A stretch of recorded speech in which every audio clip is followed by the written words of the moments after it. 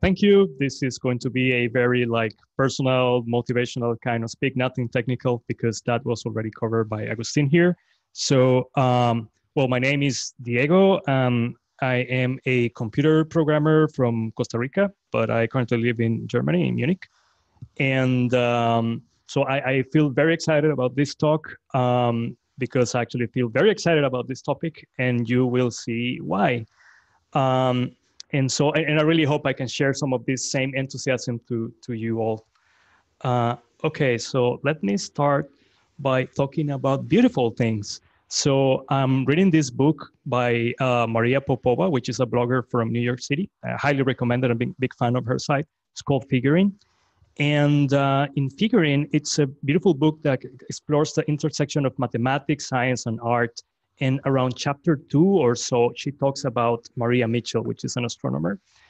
And uh, there's one part of the text that I really, it really captured my mind. And I'm just going to read it uh, real quickly here that it says like sometimes I ask myself whether I would be studying galaxies if they were ugly. I think it may not be irrelevant that galaxies are very attractive. And when I read this, it really captured my mind. Like she actually saw a deep beauty in this. So for her, it was not, it was, it was even fundamental that galaxies were beautiful and this gives her the power to study it. So I thought this is really powerful idea. And it was also powerful to me because I, I love beauty. I love beautiful things, beautiful concepts, inspiring creations, elegant simplicity, owing complexity. And the thing is like you can find beauty in so many things, like from you know art, science, technology, philosophy, history, you name it. But the thing is like we don't have that much time. So I can only pick two. And the two things that I like the most are like computers and you know like graphics art.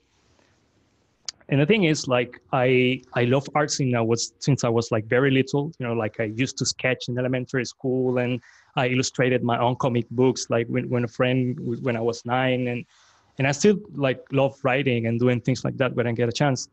But then i discovered computers when i was like 12 and like yeah this this like silicon thing with wires which doesn't even know it exists it, it captures me like it I, I fell in love with the machine.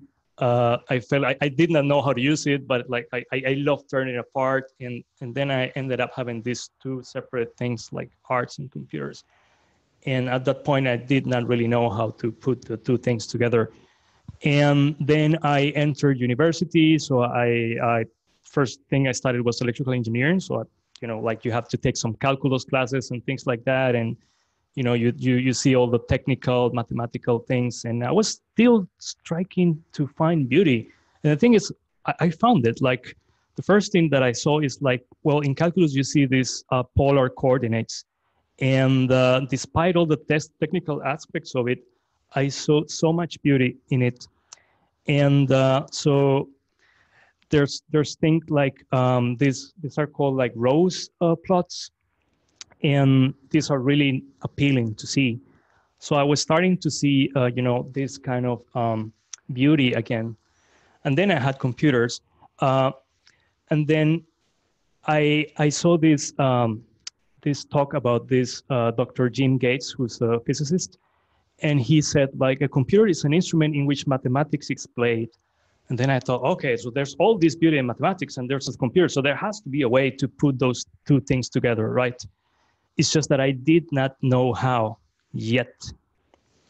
And then I was striking like to, you know, I, I got lots of computers and I got my master's in computer science and I worked in computers for many years in the industry and all that stuff. And like all the art was like left aside and I, I was never able to like put these two things together until until this year more or less like uh, so this year everything changed and uh, yeah, that's a, a, picture of like uh, where I was sitting in the Recurse Center in Brooklyn, like also my, my, my favorite place, like next to the window. And then so so everything changed, and I feel so excited to tell you what happened. So at the beginning of this year, I had the opportunity to attend a retreat for programmers in Brooklyn, New York City, and it was truly one of the most beautiful experiences in my life, and it totally changed the way I see arts and computers forever. So uh, yeah, so for this retreat, uh, you're supposed to come up with your own project, right? So I had this uh, functional programming language, blah blah blah, which I was develop, developing, and I was like working for that like for months before going to RC. But then on the first day, I was introduced to this super really nice guy, Agustin, who's actually sitting over there. Yeah. And uh, they told me like, oh, Agustin is really into creative computing. And I thought like, what is what is creative computing? Like maybe maybe I heard about it, but I was like never really into it and uh, and the thing is like it, it suddenly clicked you know in my head like i think this is something i should really get into and it turns out like agustin was more than happy to teach me about it so i was only in the mini batch so i was only there for one week but it was like a super good week for me um, so like i said so my original plan was to do this functional programming thing and I really want to do my functional programming and compiler, but then I thought like, but I really want to do this art as well. So what happened? Well, I ended up fusing the two things together.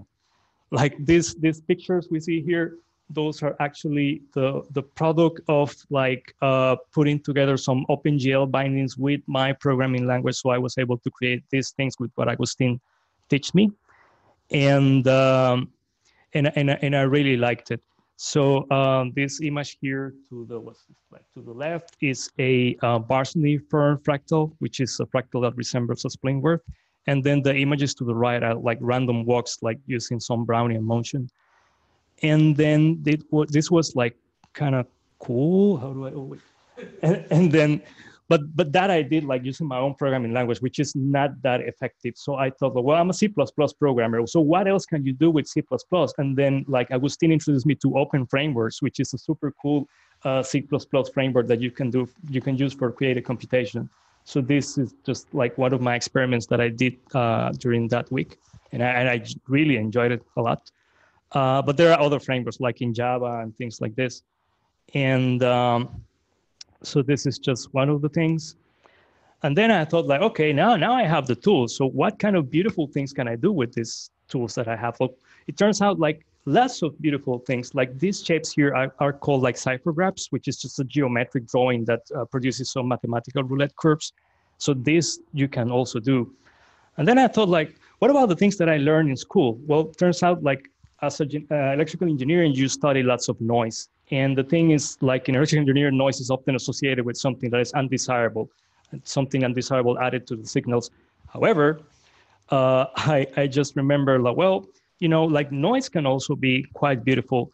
And there are many different types of noise and colors of noise, like white noise, gray noise, and there's a special kind of noise called Perlin noise, which was uh, introduced by Ken Perlin in the 80s. And uh, so it gives you like random values such that the values that are like close to each other are like not so different from each other, so it's smooth.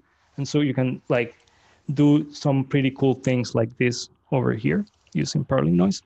What else can you do? So for many years, I worked in uh, compilers, you know, like formal grammars and all that stuff. So guess what? Like you can also do pretty cool things with formal grammar. So there's these uh, things called Lindenmayer systems, which allows you to generate like visually organic, appealing things using these kinds of grammars. And uh, also, uh, creating uh, arts with computer is not something new. I mean, it's new to me because I just discovered it, but it has been there for quite a while. So, for instance, this uh, picture is going. It's called Drawing Machine by Desmond Paul Henry's back from the 1960s. And there have been many creations uh, using old technologies to newer technologies. So there are things like um, uh, machine learning, which you can also use to create art.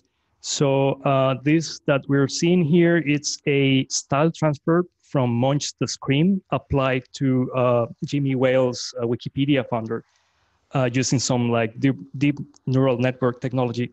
So deep neural network is like computationally expensive and perhaps difficult to explain. However, there are simpler things that can be done using like a clustering and classification and things like that. And you can still get like super appealing results with that, which is like quite amazing. And I really want to get into that. And uh, hmm, so it's eight minutes and 57 seconds, which is quite nice because this is the last slide.